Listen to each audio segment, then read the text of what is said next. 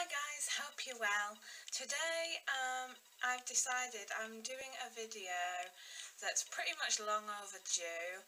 Um, I, it's coming up a year now since I went to Disneyland California for my first ever time and since then I've done two Disneyland Paris trips as you know about and I thought that maybe I should do a video that talks about the comparisons between Disneyland Resort California and Disneyland Paris. So let's get cracking. First up, hotels. Disneyland Paris has seven hotels that are all on site and they're all within walking distance of the park. I think the Davy Crockett Ranch, which is self-catering, you have to drive to uh, to and from the parks. But with like the Cheyenne and the Santa Fe, it's maybe a 15 to 20 minute walk. Newport Bay and Sequoia, uh, I would say is maybe a 10 15 minute walk. Sequoia Lodge is a 10 minute walk, easy. New York is a 10 minute walk, and of course, then the Disneyland Hotel, which is known as the Big Pink Castle in Paris, that's literally like there. guests who stay there, even have their own special lift to get into the parks basically. They still have to go through the same entrance as everybody else, but uh, yeah, they're um, they they're special. In Disneyland California, there's only three hotels that are Disney. Um, there is the Disneyland Hotel, which is the most expensive, and it's right at the bottom of like downtown Disney area. And then the next is the Grand Californian, and that's entrance that's got an entrance right into the parks and then the next hotel which is further around is Paradise Pier.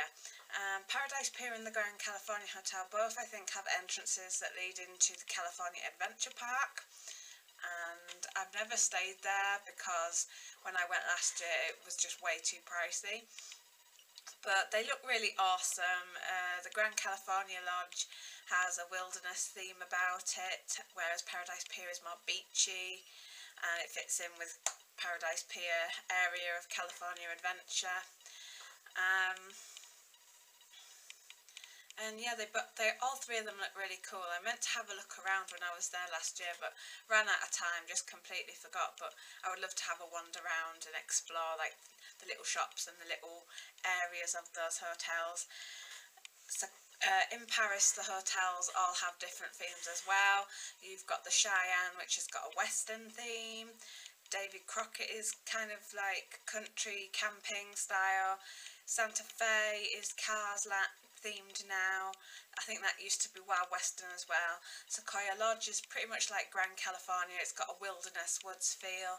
Newport Bay is like the yacht resort in Walt Disney World, I think. And the New York is quite classy and quite city-ish. And the Disneyland Castle is just white and grand and very, very posh indeed. So they cater for pretty much every kind of feel if you're going for like a western theme, yeah. So that's the hotels. When you stay in a Disneyland Paris hotel, you get with um, with your stay, you get your park tickets, and those park tickets entitle you to two hours every morning of like extra magic hours. So we've talked about the hotels in the Disneyland parks, both in California and Paris. Now I'm going to tell you about the extra magic hours. In California, they have um, extra morning hours, which can only be taken on Tuesdays, Thursdays and Saturdays, as it was last year when I went. And you only get one extra hour in the parks. Um, and it can either be the Disneyland Park or it can be California Adventure Park, depending on how the system's running there. In Paris you get two extra hours and these run from like 8 till 10 and then the park will open to regular guests at 10 o'clock. I found that I was in, I did use my magic morning in California. I remember getting up very early in the morning and getting to the park for 7am so I could be let in and I used that extra hour to queue 15 minutes for Anna and Elsa and then I did a couple of other things uh, I think all in all though, I think the extra hours in Paris are probably better because you get two and you can get a few more extra things done I think. Or you can do certain rides and attractions again and again. Uh, one hour isn't really very much but it's still something like I remember being grateful that I only waited 15 minutes for Anna and Elsa whereas um, I've seen in various other videos that some people were waiting up to five or six hours after the park had opened to the everyone else so quite grateful for that in a way but it just sucked that it was only one morning. I think if it had been every morning then I could have utilised my time a lot better in California. So that's the extra magic hours. Uh, one thing I will say though is I've only been to Disneyland Paris in the winter and the opening times in the winter are quite short. I'm not sure what they're like in California in their winter time, uh, but but generally the park tend to close at 7 or 9 o'clock in the evening so even though they've got extra magic hours in the morning they close on a night earlier whereas in California I was there from like 7 8 o'clock in the morning and I was there until midnight and like after midnight which was crazy. Uh, California Adventure Park would be open until 10 and then I think the week I went it was like grad night. So they would close at 10 to the general public and then it was only for grad students only which was fine because then I was able to park hop across to Disneyland and have an extra two hours in Disneyland and riding Indiana Jones is like so surreal at like 10 to 11 and Pirates of the Caribbean was a walk on it was amazing uh, so I'm pretty sure the park does open a little bit longer in Paris, but not till midnight. I think it's like 11 o'clock or something. So there's like pros and cons. Yes, California ha doesn't have as long magic hour for like hotel and guests and whatnot, but they have got longer opening time in the evening compared to Paris. Next I'm going to talk about lands in the Disneyland park. Uh, in Paris you have the the same, pretty much the same lands as in California. In Paris you've got Main Street, you've got Fantasyland, Adventureland, uh, Frontierland and you've got Discoveryland, which is what they call it in Paris. In California though, there's a couple more lands, like in California you've got Main Street, you've got Tomorrowland, which is there, which is Paris's Discoveryland. You've got Fantasyland, you've got Adventureland, you've got Frontierland, but then you've also got New Orleans Square, and you've also got Critter Country, which are really cool. In Main Street in Paris, uh, all the shops are pretty much like linked together. You can just walk straight through all the shops. And they also have two arcades at the side. So that's really handy when it's really busy like after dreams or something and you want to get away quick because most people just go straight down Main Street. You can go down the arcades and like escape and it's a little bit quieter. Uh, and I think in California the shops are a bit more individual, you have to literally come and go in and out and I think there's more variety on California's main street with like the merchandise they sell. A lot of the stuff in Paris tends to be fairly similar and the same as you're going through. In and then as you're walking down Main Street, of course, you come to the castles. And the castles are obviously very different. California's castle is very, very small. Uh, and it looks big from like the top of Main Street, but as you're walking down, they have a special effect where the buildings and the castle look a bit bigger, but as you get nearer, it is small. Uh, Paris's castle is very, very grand. Uh, sometimes it can look a little bit shabby, like the upkeep of the castle I don't think is as good. And, you know, Disneyland California, they've just had their 60th anniversary celebration start and their castle's like decked out in diamonds and looks amazing. But the, like the differences between the castles inside are like really cool as well. In California, the castle is pretty much a walk through and then at the sides they've got a, the, an area where you walk through and you start at the beginning of the Sleeping Beauty story and uh, you go through the castle and come out the other side and it tells you the story of Sleeping Beauty. Whereas in Paris, the castle, you walk through it and there's like a Christmas shop and there's another shop selling, I think there's like glassware and then there's like the dolls and the dresses and stuff. And then there's steps going down to a dragon in Paris, which is really cool. Also in Disneyland Paris Castle there are stairs that you can go up, but they're more central, whereas in California they're at the sides and again it tells a story of Sleeping Beauty but you can also go outside onto the turrets and look over all of Fantasyland which is really cool. Ooh, also wanted to say about Main Street as well, obviously California is the original Disneyland so there's a lot more it's a lot sticks a lot closer to Walt's idea of the park. And one thing I really like is that the fire station has uh, a can ha, is where Walt used to live in a flat. And in the window of the fire station in where Walt lived, um, there's a candle in the window and it stays lit like all the time. I think it's like a battery or electric power now, but it's like on all the time to represent Walt's spirit in the park, which is really, really cool. So that's the castles and their differences. Now for Fantasyland. Fantasyland in both parks is pretty much exactly the same few of the rides, most of the rides are the same, but they're just placed differently around the parks. And like the restaurants, some are similar, some are different. In Paris, there's Au Chalet de la Marionnette, which is Bavarian slash Pinocchio themed. In California, it's called Village Haus, and there's a few rides which California has that Paris doesn't.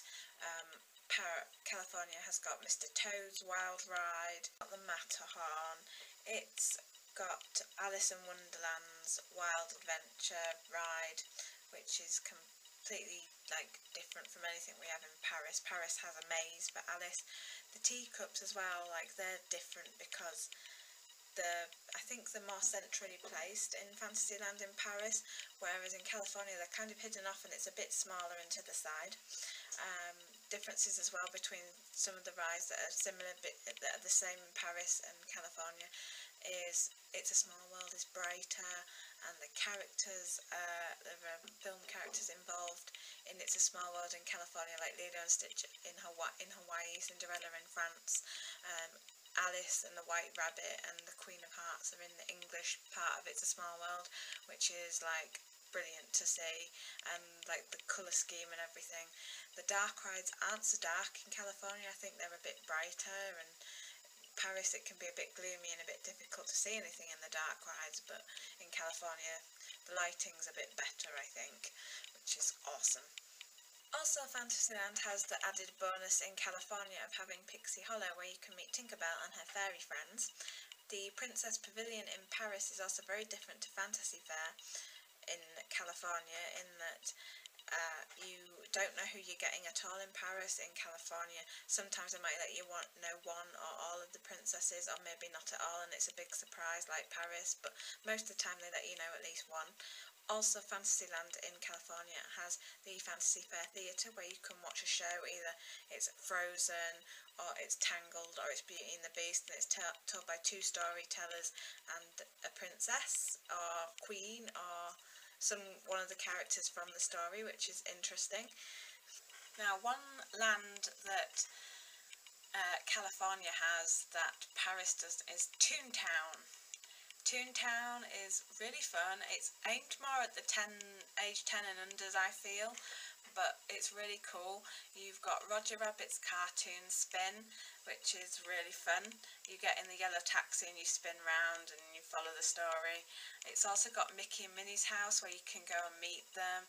There's Chip and Dale's tree house, Donald Duck's boat, Goofy's house and Pluto, and Goofy and Pluto and Donald and sometimes Daisy all come out and do meet and greets around there as well. It's also got the fastest and quickest roller coaster to ever go on. It's called Gadgets Go Coaster and I can guarantee that from get starting the queue, getting joining the queue to riding the ride, it takes like a minute or less. So that's really fun to do. Not much else really I think goes on in Toontown. It's just a lot of photo opportunities but it's something that Paris doesn't have and I think something that Paris could maybe consider. I mean there's like different props and things in Toontown like weights and Uh, you can go touch a library door and it'll electrocute you on the doorknob, so that's really fun. And yeah, it's just really, really fun in Toontown. I quite enjoyed my time there. Adventureland in Paris, it it's in a completely different location to California actually. If you're coming up Main Street in Paris, it generally goes Frontierland as the first land and then Adventureland, whereas in California it's the other way around and you've got Adventureland and then Frontierland. And Adventureland in Paris is quite small area I think. It's got two major attractions I guess. It's got Pirates of the Caribbean and then it's got the Indiana Jones roller coaster and that's pretty much it. There is Skull Rock where you can go climbing the rocks and it's got the Swiss Family Robinson treehouse. But there's really not a lot to Fantasyland and it borders, because it is like mixed in with Frontierland, sometimes it can get a bit confusing about where things are. Um, so California with their Adventureland, you walk in and then you've got like the enchanted tiki room and you can buy Dole Whips which are really nice. And then you've got Indiana Jones you've got the treehouse but it's been altered in California to Tarzan's treehouse instead of the Swiss Family Robinson. It's got an Indiana Jones ride but the Indiana Jones ride in California is really different to Paris. It's not a roller coaster. It's a car ride when you get in a jeep and you ride through the Indiana Jones movie and then it's got Pirates, but then I'm not sure if Pirates is classed as Adventureland or it goes into another section, New Orleans Square, because they're kind of the same. And as you walk through Adventureland, you go into New Orleans Square and they've got like a restaurant and seating area. You can buy a mint julep. You can meet Tiana there, which is really fun. They have canoe boats that you get on and you paddle away with a guy, cast member, like telling you stroke, I think, and stuff, which is really fun. They do have uh, the riverboat. Uh, Molly Brown and Mark Twain, I think, get alternated in California a lot. It's, so that's the same as Paris. One thing that California has is that Paris doesn't have in regards to like the lake and that. There's an island called Tom Sawyer's Island in California that you can go across on a river on a raft boat and that's really interesting. It's got caves to explore and whatnot, and you can have a really good fun time over there.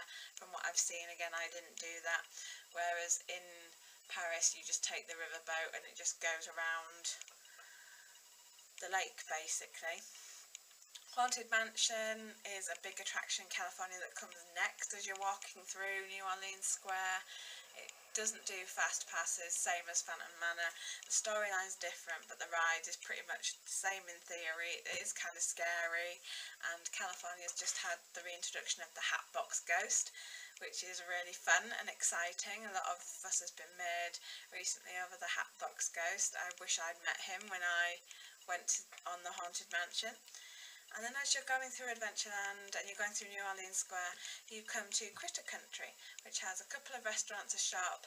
It's got Splash Mountain, which is awesome. It's got a Winnie the Pooh meet and greet. You can meet Winnie, Tigger and Piglet and Eeyore. Some, not, not Piglet, but Eeyore, I think and it's got the Winnie the Pooh ride which is super cute and super fun.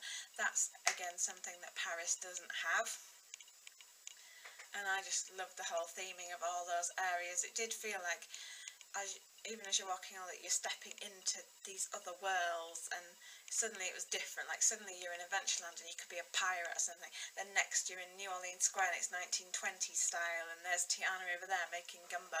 Tomorrowland slash Discoveryland in Paris and California. Paris is having a major refurb at the minute. Space Mountain 2 is now shut, and I think they've had the Videopolis area closed as well while they're turning into a Jedi training academy. Um, but yeah, Tomorrowland, Discoveryland in Paris, it's got Space Mountain 2, it's got Star Tours, it had Captain EO, but I think that's closed now as well.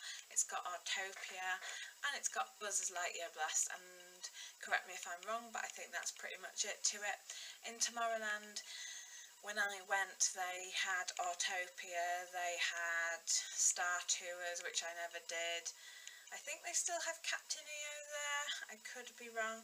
They do have their version of Space Mountain, it's the very first version, but I never got to ride it as it was closed when I was there, which I was really gutted about. It was one of the rides I really wanted to do and see the difference between it and Mission 2 in Paris.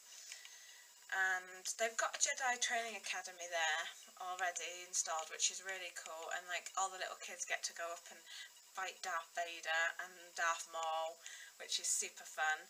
Another thing which California Disneyland had in their Tomorrowland is Innoventions, which is a great big building which I believe now is shut, but when I went you could do the Iron Man experience and you could be Iron Man and you could meet Thor and that was really cool going to Asgard, travelling through time and space to meet Thor and you could meet Captain America.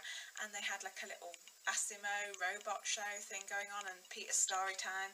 But like I said that's all closed down now but back when I went that was super awesome. I loved that. And I'm not really one for like Tomorrowland and Discoveryland, I don't know, I'm not a very kind of space agey person. I don't really like Star Tours in Paris, which is why I never rode it in California, even though I hear that there's like different stories that you can ride. I'm not too sure. Um, Buzz Lightyear Blast, it's the same both in California and Paris, so again, I love that ride. I did find it nigh on impossible to find my picture though uh, in California. You have to be super quick to run off the ride and then find your picture to email it to yourself. Um, whereas in Paris it's a bit more slower and you can get it put on the photo pass. Meeting characters, that's a big one really for the Disney Empire. Um, I found that meeting characters in California was a lot more enjoyable than meeting them in Paris. And I just feel like the atmosphere in California is a lot more relaxed with characters. And it's not all as scheduled. Like you can just be sat on a bench randomly and Peter Pan will come running out and he'll just like walk around the Matterhorn um, oh yeah that's something that Fantasyland has that uh, Paris doesn't that's another big one. But yeah, meeting characters totally different. Like Peter Pan will just come running out and he'll meet and greet with people and he'll play games with the kids and stuff and it's really fun like I just enjoyed myself a lot more. I don't know whether climate has something to do with it as well but people are just a lot more relaxed.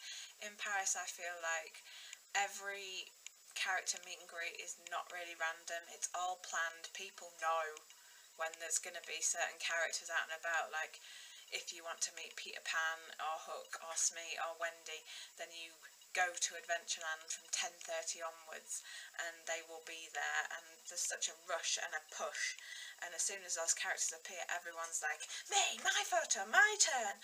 And literally you feel like in Paris all you can do is get a photo and say hi and then that's it you know? Hi can I have a photo? Bye! And then you're moved on to like the next person. There's not a lot of interaction with the random character meet and greets whereas in California you know you could play games with Peter. You could have cuddles with Duffy in Paradise Pier but I'm going to talk about the other parks in another vid I think now because this is getting on for 26 minutes. Um, but yeah, you could play games, you could drink tea with Hatter, Hatter and Alice just randomly walking around Fantasyland and around the teacups ride there and just yeah the randomness of characters being out was great like Tiana just walking around New Orleans Square and in Discoveryland you had well Tomorrowland you might have Stitch popping out here and there I think in Paris with like random character meet and greets. You have, you actually have planned meet and greets in Main Street with like Mickey and Minnie by the boarding house, Goofy and Pluto tag team together. Chip 'n' Dale will be by the Plaza restaurant, uh, Plaza Gardens restaurant, which is cool. But yeah, there's just not in the, and like in California, the characters that come out randomly, like Peter and Alice and Hatter, they don't always have a cast member with them, which is really nice. Uh, whereas in Paris, they need like maybe one or even two cast members to control the masses. It's like mass hysteria when you're in Paris, which I wasn't too keen on. Whereas in California, I don't know, things are just a lot more relaxed and people are a lot more happy and there's none of the pushing and shoving and rudeness that goes on, I think, in Paris. Restaurants. Everyone's got to eat. When you want to book meals in Paris, you have to be 60 days or less before you can ring up and book a meal.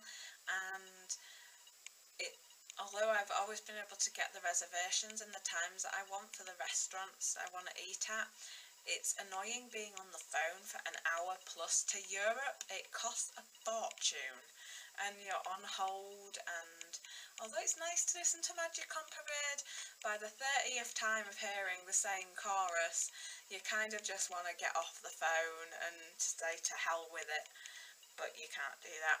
Uh, whereas with the California booking, I like that you could go online and reserve and make bookings online and have them confirmed to you by, via email.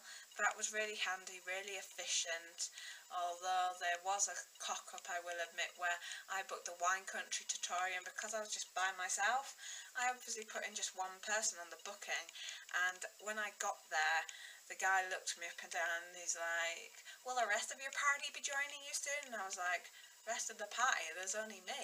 And he's like, no, we've got your reservation down here, Miss Beckwith, there's 10 people. And I'm like, well, there certainly isn't going to be 10 of me having lunch here at the Wine Country Trattoria, so that was that. and um, it was obviously some sort of error mistake, but yeah, I like that you could book it online for free, pretty much. And it just seems so simple and it was easy to keep track. You could log on to the website and keep track of your reservations. You could change and alter them and like you were obviously being charged a fortune over the phone. Um, the selection of restaurants I think is bigger in California because obviously it's bigger parks like there is more choice and California does have more character meals than Paris does. Paris has three. You have Mickey's Cafe in uh, Disney Village, you have the Inventions restaurant in the Disneyland Hotel and you also have the Auberge de Cendrillon. Now, Auberge de Cendrillon in Paris, you meet three princesses and one prince, and Susie and Perla are there. In the Disneyland Hotel, it's usually, I think, the Fab Five, but every Sunday they have a brunch from, I think it's 11 till 3, and it, the brunch is always themed, and you can meet various characters relating to that theme. Sometimes it's a princess theme, sometimes it's Russian New Year like I what I went to.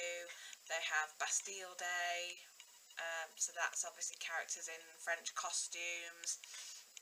And then in Mickey's Cafe, you generally tend to get Mickey or Minnie or Chip 'n' Dale, Goofy, Pluto, and maybe Eeyore or Tigger. Um, I've not really seen much like rare, many rare characters in Cafe Mickey. It does tend to be just the Fab Five and maybe one or two others, I don't know.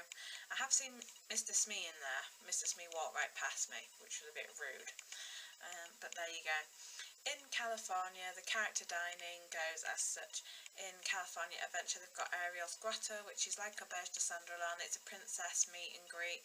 You first meet Ariel in an official photograph and then as you're dining you generally tend to have Cinderella, Snow White, Belle and Aurora come round and meet and greet with you. Occasionally Tiana and Rapunzel have been seen there but I don't think it's very common for them to appear at Ariel's Grotto.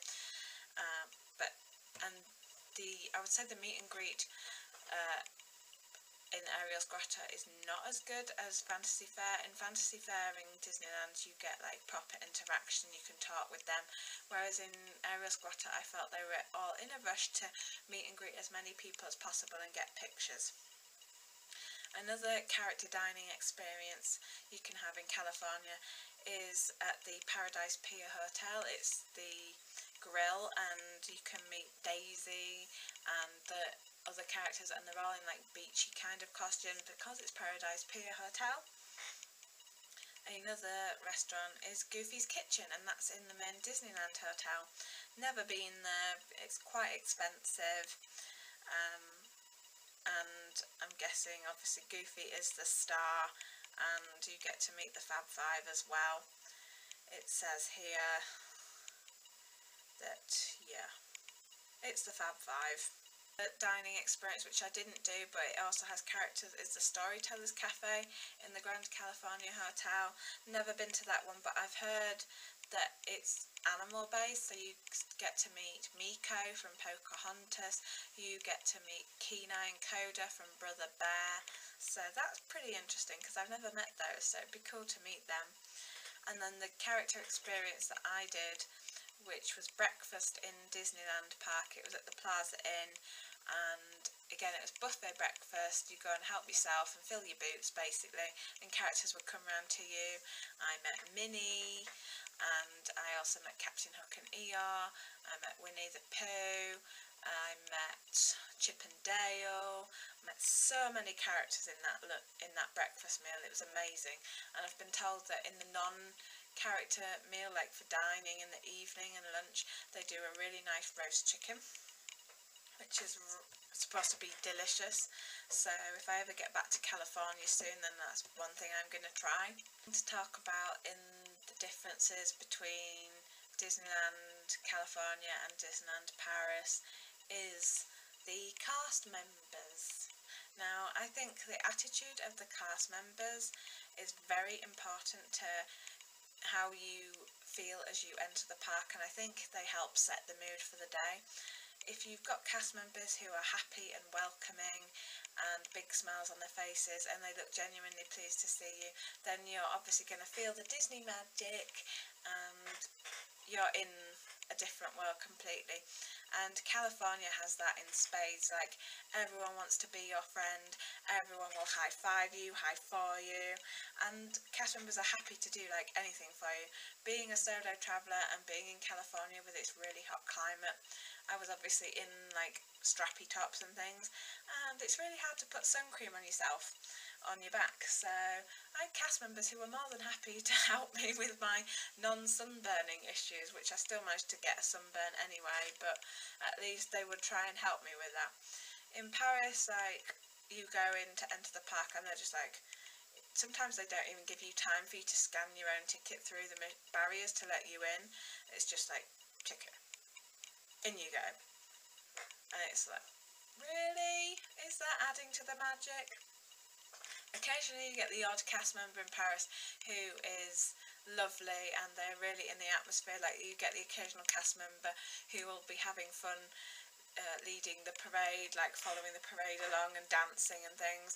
There was a cast member I met in November last year who worked in um, Frontierland and he was really fun and he still works there I think. He works on Phantom Manor now can't remember his name. It's like Manuel or something. But he was really hilarious and he was just like Disney magic. Another cast member we met in the Walt Disney Studios in Paris, Jessica, she really made the Tower of Terror a frightening experience for my friend Joe. And another one, Jose, he was really good as well um, for my friends Katie and Hannah when we went with them in January. He was a really good cast member for um, Tower of Terror. We met a lovely guy called Pierre who was asking me about my pins on Armageddon while the experience of the Armageddon was going on. We were talking pins, which was great. And I loved that, but I found it a lot rarer than in California.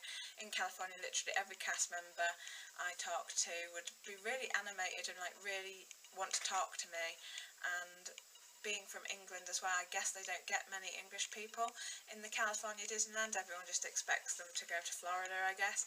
So a lot of people, I got a lot of, are you from Australia? And I'm like, no, I'm not from Australia, I'm from England. Oh, England, that's so cool, tell me all about it. And I remember having a conversation actually about the attitudes of the cast members in with someone in one of the shops in California and like the differences between California and Paris. And yeah, I just like being able to chill and talk to people and cast members would see that I was alone and sometimes they'd initiate conversations with me, never mind me going to them. So it was really nice because there were times when, although I enjoyed my experience on the whole, I did get a bit lonely. So it was nice to have someone just come up and talk to me. And when I first got to Disneyland, the first thing I did was go to California Adventure and the cast member there was I was looking for a first timer badge and the bureau office didn't have any because that's the place where most people get sent. And the cast member took me by the arm and she's like, I'll come with you. And she walked up the street with me to like the nearest shop, restaurant place to get me a first timer badge. That was really nice of her. So yeah, cast members in California are brilliant. Um, I think they're getting there with Paris now. I think Paris cast members are getting better and better but there's like I don't know if it's a European thing where some of them are just a lot more reserved but it's not very Disneyish so I think they need to lose the Europeanness and realise that they're in Disney so they have to be Disneyfied. One thing that I like about California Disneyland as well is that you get free badges.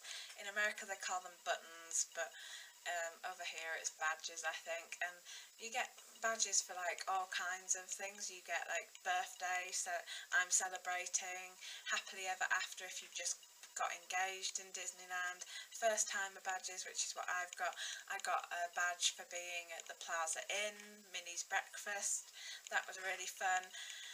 And like the free stuff you get like I got a sticker for going on the fire truck with Keith the, uh, the fire a truck driver and that was really fun going down Main Street and he's like here have a sticker you're now a junior firefighter. I was like cool I'm a junior firefighter for Disneyland. Um, I'm not sure what it's like in Paris because um, I've never tried. I think you just get a free birthday sticker or something and you can have a phone call from Mickey Mouse but I don't think they really have a lot of free stuff um, in Disneyland Paris which is a shame Nighttime shows in the Disneyland park. Now, I think this is where Disneyland Paris has an edge over California. Disney Dreams is amazing. It's one of the best shows I've ever seen and it's great with the water and the projection on the castle and the fireworks and the lights. I mean, yes, in Disneyland California it is pretty cool to have actual Tinkerbell flying around the castle, but it doesn't look as good, I don't think. I don't know. I just like I was watching it and I was like, cool, Tinkerbell. And then after a bit, I was like, what is she doing? She's literally just bouncing around. And, you know, I, I, her flying was just way off, I thought. And I just thought, yeah, as far as castle shows go, it's pretty perfect for Disney Dreams. I think it's work it would it wouldn't work on California's castle because it's so small but because Paris is a lot bigger Dreams does look really impressive and really amazing. However there is a show that Disneyland Park has that uh, in California does that Paris doesn't and that is the um, oh, I keep forgetting everything. What is it? Mm, Fantasmic. Yeah, there is a show that California Disneyland has that Paris doesn't, and that is the Fantasmic show, which involves uh, the Tom Sawyer's Island and Mickey Mouse and Maleficent, and the boats get used. Like, there's this great um, show on the pirate ship that comes round, and it's got Captain Hook and Peter climbing all over the rafters and having a fight. And then you've got the princesses coming on rafts that light up and they're all lit up and that's really amazing. Like I loved Fantasmic. It was amazing um, so Dreams is phenomenal in Paris but then Fantasmic is really good in California. So pros and cons. And I think as well there's like there's two shows of Fantasmic whereas Dreams is just once um, and it's usually at park closing time. So whenever that night that park closing that's when it is and it's like 20 minutes and this leads on to parades as well parades I think. Um, Disneyland Paris has Magic on Parade which is really good and love don't get me wrong I love Magic on Parade and the song does get stuck in my head for days and days. But it's the same song for every single float. And sometimes I think it would be nice if maybe halfway there was a bit of variety with the music. And California has the Soundsational Parade and with each individual float is the music related to that film. So Aladdin's got Arabian Nights, Ariel's got Under the Sea, the Tiana float's got, uh, I think it's Dig a Little Deeper, I think, yeah. And I just like the individuality and the separation of the floats and the performers. I think that's really great and I wished we could have something similar to that in Paris. I don't know if it's maybe cost more to do individual music per float, but it's nice. However, I do think the quality of the floats are maybe a little bit better in Paris, so yeah, I really like the theming of the Peter Pan float in um, Paris. Like, each float is individually themed in Paris, I guess, whereas actually in California, they're stood on a big drum You've got Aladdin on top of a big drum. You've got Tinkerbell on top of a big drum. Ariel's got a shell, I think, but yeah, they're all on top of drums. And then Mickey's in a great big circle playing a keyboard uh, in California. But yeah, they're mostly drums, and I like the individuality of the floats in Paris. So they're always interesting to see. And like with the princess float in Paris, you've got Anna and Elsa at the front, and it's all Frozen themed, and then it goes into a swing scene with Rapunzel and Flynn, which is really, really nice. so yeah, both parades are good. I mean, I like the individuality of the music in California, but I like the quality of the different floats in Paris. So another thing I want to talk about as well with regards to the character meet and greets, there's Fantasy Fair in California, which has obviously the princess meets, but you don't get to meet all the princesses in there. Outside of the Fantasy Fair, just on the bridge, they alternate between Merida and Rapunzel and Flynn meeting and greeting, which is really cool. Uh, Merida is meeting and greeting at the Princess Pavilion at the moment. I don't know if that's going to continue forever though. Um, but before that, over Christmas, she was meeting by Casey's Corner, which is where Rapunzel used to be. And I just think it's nice that the two swap. All in all, both parks are incredible in their own little ways. Each has pros and cons, and they but they both bring like a different side to Disney I guess and the films and it character meets and rides and stuff. It's just all Disney and it's all magical I'm not going to say that one park is better than the other even though it maybe sounds like I'm more biased towards California I'm really not I do love Paris and its quaintness and it's got a charm to it that California doesn't have but then California has things which are better than Paris obviously and that's just going to be how it is. I mean if I was comparing Walt Disney World to Paris then yeah that's going to be a major um, difference but both parks represent Walt and I think it's great and long may they continue. I think Paris is one that obviously it hasn't been open as long as Disneyland in California and it's going to grow and evolve and become better and better. And it's just watch this space with it I think. It's got potential to be a really good park and I know it's been struggling with debt but the Walt Disney World Company is starting to pay in more and invest more so that's all good and it can only mean good things for Disneyland Paris. So yeah. Thank you for watching this slightly babbled um, video. I really have no idea how I'm going to edit this, but hopefully you will enjoy it. Let me know what you think of Disneyland Paris and Disneyland California and what you enjoy. And if you've been to both as well and want to give me your opinions, then please do let me know what you think of California versus Paris.